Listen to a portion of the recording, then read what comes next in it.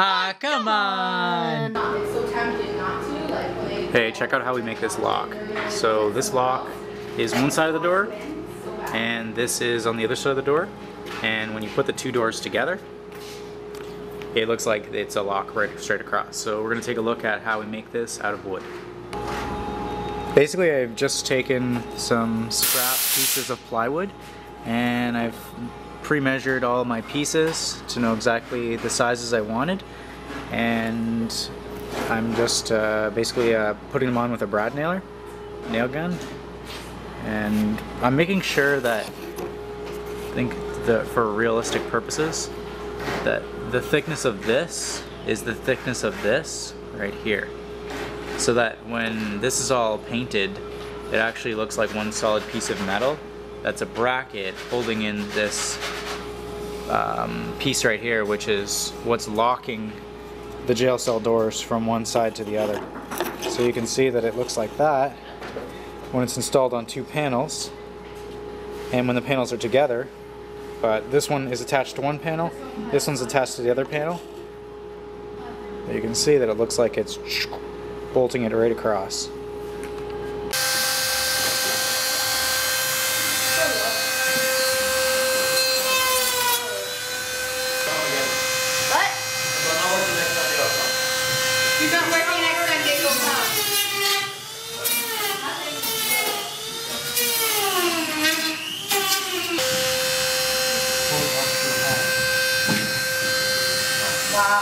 Really? The bolts for this project were fairly simple too. Uh, we glued them onto the wood using Elmer's wood glue.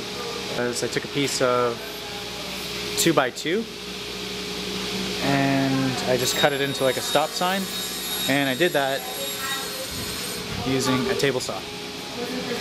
So all I did was take the blade, put it on an angle, and I just cut it many times on each side.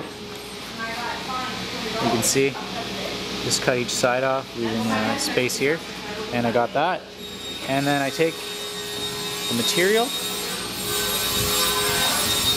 and I cut it on a chop saw. And I'm not really measuring, I'm just going for like the average thickness, you know, maybe quarter inch. And I'm cutting a whole bunch of them. And then shaving all the burrs off the side. And that's how we're making our bolts. Instead of doing um, uh, two coats of like one of a regular Monster Mud, which you can find in one of our videos, we did a little tutorial how to do it. We'll put a link into here. Uh, we made the, the Monster Mud an orange.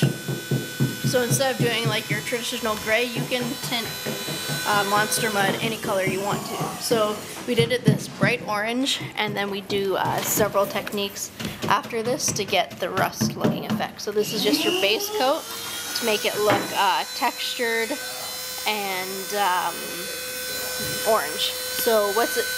There's paint, uh, orange paint in here, drywall mix, and sand to get that grittiness. This is Jason Melissa's torture tool. They're $5.99. You can buy them at HauntItYourselfProductionsSales.com. says right here, the new website, new link right here, bottom of the description.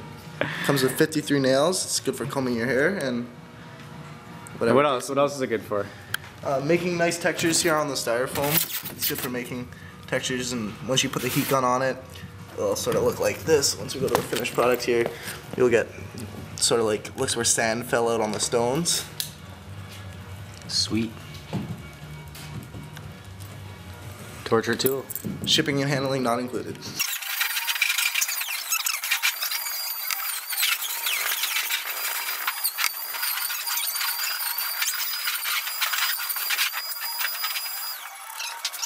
Jason and Melissa make torture tools now. Really? Yeah.